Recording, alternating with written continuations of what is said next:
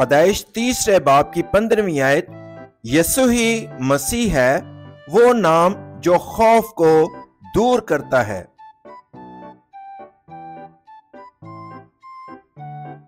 मोहब्बत में खौफ नहीं होता, बल्कि कामिल मोहब्बत खौफ को दूर कर देती है, क्योंकि खौफ से अजाब होता है और कोई खौफ करने वाला मोहब्बत में कामिल नहीं हुआ। पहला योहन्ना चौथे बाब की अठारहवीं आयत। खुदा ने बाइबल के ज़रिए मुझसे वाज तौर पर बात की, जैसा कि रोमियो तीसरे बाब की तेईसवीं आयत में लिखा है, इसलिए कि सबने गुनाह किया और खुदा के जलाल से महरूम हैं। हमें तस्लीम करना चाहिए कि मैं पैदाइश तीसरे बाप के असल गुनाह में गिरफ़्तार एक गुनहगार हूँ। और रोमियो छठे बाप की तेईसवीं आयत कहती है, गुनाह की मजदूरी मौत है, लेकिन खुदा का फजल हमारे खुदावन यसु मसीह में हमेशा की ज़िंदगी है। मुझे ये तस्लीम करना चाहिए कि मैं पैदाइश तीसरे बाप के असल गुनाह में फंस गया हूँ। वो लानत जो मेरे ख़ानदान, मेरे अपने गुनाहों, रूहानी मसाइल से गुजरती है। इसलिए मुझे अपने बदन को पदाइश तीसरे बाप की पंद्रहवीं आयत के मुताबिक मसीह, सांप का सर कुचलने वाले के नाम पर बशारत देना चाहिए। तब रूहानी मसाइल, जस्मानी मसाइल, गुर्बत, नाअहली और बीमारी की लानतें दूर हो जाएँगी। अगर मैं ये तस्लीम नहीं करता कि मैं पैदाइश तीसरे बाप के असल गुनाह के ताबे हूँ तो मैं मसीह के तौर पर पैदाइश तीसरे बाप की पंद्रहवीं आयत की बशारत देने के लिए अपनी जान को खतरे में नहीं डालूँगा। ताहम अगर मैं खुदा के वादे के कलाम पैदाइश तीसरे बाप की पंद्रहवीं आयत यसु मसीह औरत की नस्ल सांप के सर को कुचलने के साथ अपने आप को बिशारत देता हूँ तो मेरा खौफ खत्म हो जाएगा। मौत, बीमारी, गुर्बत, नाअहली और खौफ यसु मसीह के नाम पर मेरे अंदर से कुचल दिया जाए। खौफ खत्म होने पर ही हम खुदा की लामहदूद ताकत और हिकमत हासिल कर सकते हैं। जो ऊपर से आती है। आज भी हमें खुदा के फर्जंदों के तौर पर एक शानदार ज़िंदगी गुजारनी चाहिए। हिम्मत के साथ पदाइश तीसरे बाब की पंद्रहवीं आयत के मुताबिक मसीह को पुकारते हुए वो नाम जो खौफ को खत्म कर देता है। यसु ही मसीह है। मैं खुदा का फर्जंद हूँ। तमाम मुश्किलात खत्म हुई। ए शैतान, दूर हो। रूहुल कुद से मामूर हो। आलमी अंजीली बिशारत, ज़मीन की इंतहा तक मैं खुदा का गवाह रहूँगा।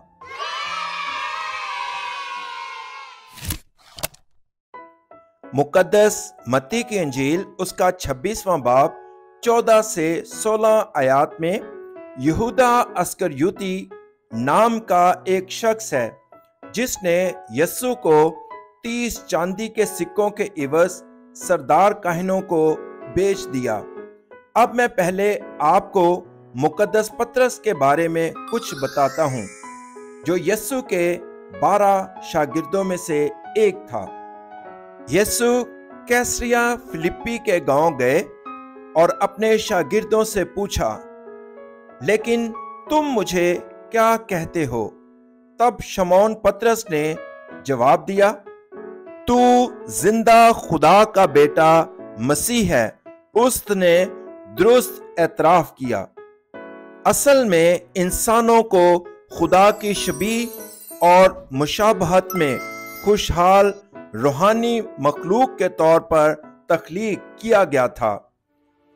ताहम पदाइश तीसरे बाब में ज़ाहिर होने वाली शैतान की मकाराना चालों में गिरने के बाद हमने खुदा को छोड़ दिया।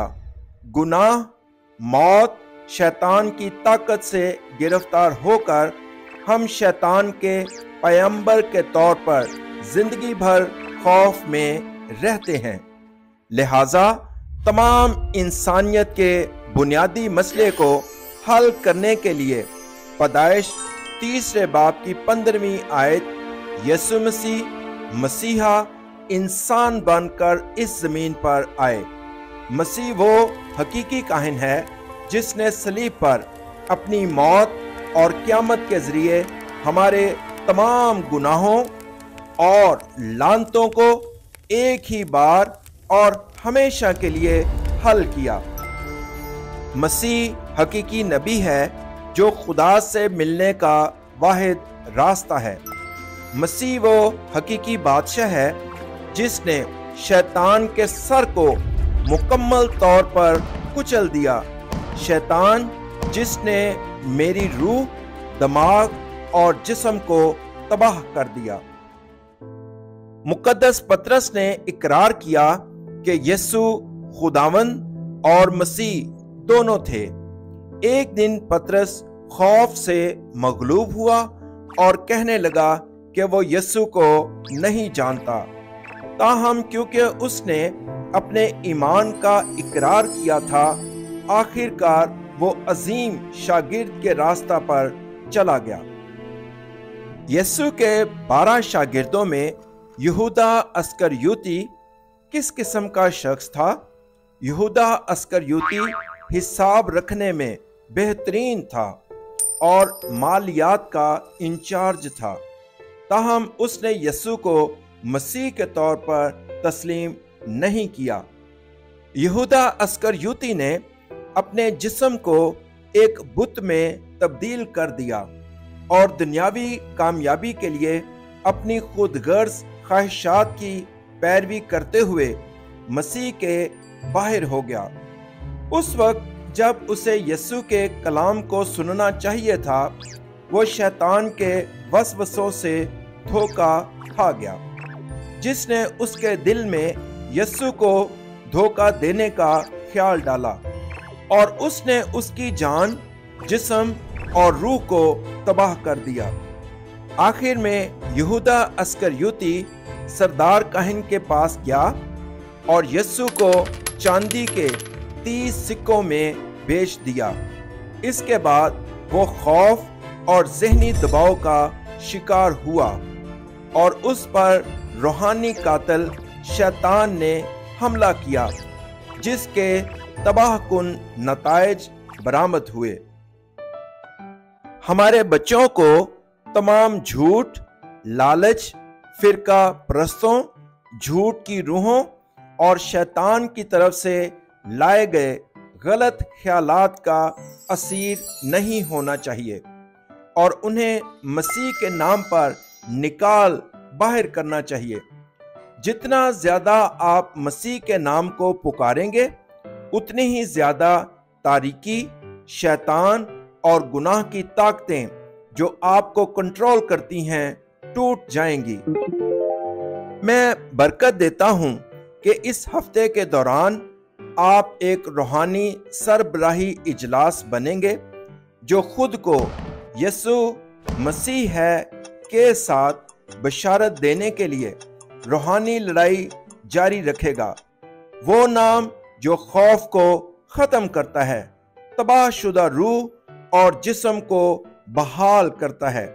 शनाख्त के साथ एतमाद और हैरत अंगेज तौर पर ज़िंदगी गुजारता है और खुदा के फर्जंद का इख्तियार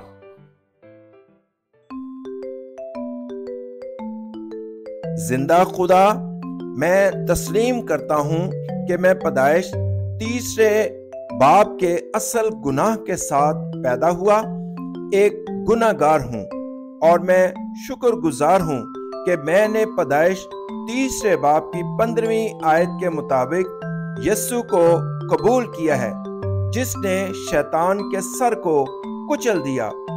मुझे खुदा और मसीह तस्लीम करके खुदा के फर्जंद की तरह ज़िंदगी दी। मुझे आलमी बशारत का सरबराही इजलास बनने दे, जो दो अकवाम के लिए डायस्पोरा मिशन को पूरा करता है। इस नाम के साथ खुद बशारत देता है, जो हर रोज खौफ को दूर करता है। यसु ही मसीह है, मैं यसु मसीह के नाम में दुआ करता हूँ। Amen.